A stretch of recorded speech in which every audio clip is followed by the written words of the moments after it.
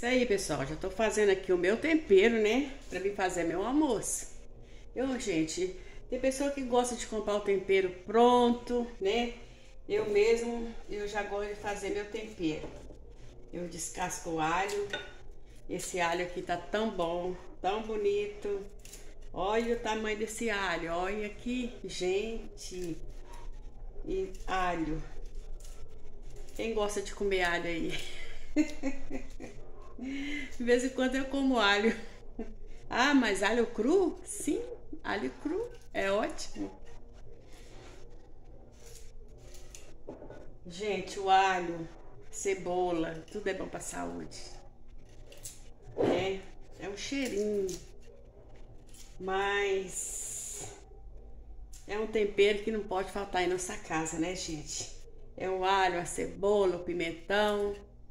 Ai, eu gosto demais com alho, pimentão na carne, né? No macarrão. Ai, que delícia.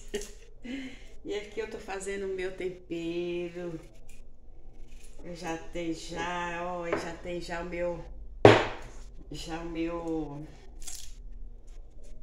lugarzinho que eu machuco o meu temperinho. E é bom demais, né? Bom que não precisa você ficar comprando tempero. Você já faz um tempero caseiro em casa. É ótimo. Eu já gosto de fazer meu tempero. Já muita gente já gosta de comprar ele pronto. É bom também, tem uns temperos pronto muito bom, né? Mas cada um tem seu gosto, não é mesmo? Hoje eu vou fazer uma carninha moída e eu quero que ela fique muito bem temperada e vou mostrar para vocês como é que uma carne moída fica bem temperadinha. Ah, mas carne moída tem que lavar? Eu lavo a carne moída. Eu lavo, gente. Eu lavo. Tudo meu tem que ser lavado. Ah, mas tem pessoa que não gosta de lavar carne moída. Não, tem jeito sim de você lavar, tá? Tem jeito sim. E eu vou mostrar para vocês o jeito de lavar carne moída. Daqui a pouco eu vou mostrar para vocês, viu? No outro vídeo eu vou mostrar para vocês. Eu vou lavar a carne moída e vou temperar ela para vocês verem. Tem que lavar sim a carne moída.